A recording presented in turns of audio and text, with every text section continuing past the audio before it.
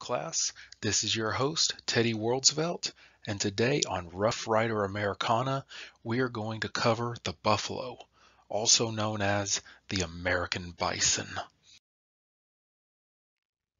As someone who has seen the buffalo, I can tell you that they are amazing and majestic creatures, and they help personify what it is to be an American. The closest living relative of the American bison is the European bison. Both animals are extremely large and travel in herds. Now, one thing you need to know about the buffalo is that they are very large. The American bison is the largest mammal in North America. It can grow up to 11 and a half feet long. That is 3.5 meters from its head to its behind. And even its tail adds an extra 20 to 23.5 inches.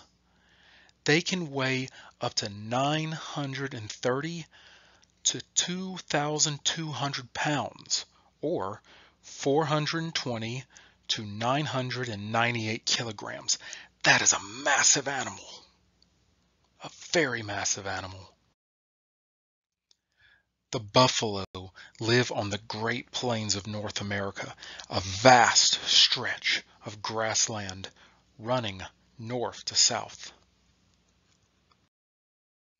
The Great Plains are a perfect place for buffalo to live because buffalo eat grass.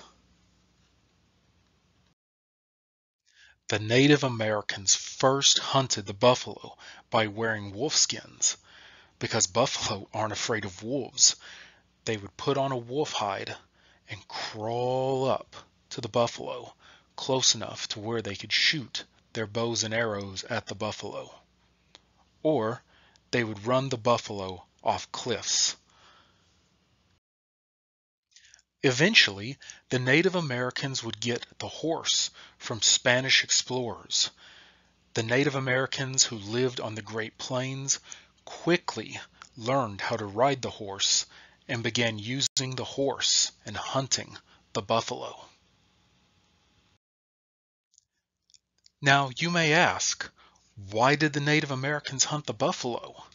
The answer is, is because the Native Americans used every part of the buffalo. They didn't just eat the meat. They used the skins for clothing. They used the horns and bones for tools and weapons there were 50 to 60 million buffalo in North America in the year 1800. Just think of that 50 to 60 million of these very large animals traveling across the plains. From the mid 19th century to the end of the 19th century, or the 1800s, as they're also known as, an estimated 200,000 buffalo were killed every year. American settlers hunted the buffalo to hurt the Native Americans and to sell buffalo skins. By the end of the 19th century, or 1800s, only 300 buffalo were left in the wild. Imagine that. From 60 million to only 300. You can see how much the buffalo population had been decimated. Today, there are 500,000 buffalo in the United States. You can see they have made a significant recovery, but nothing as they once were.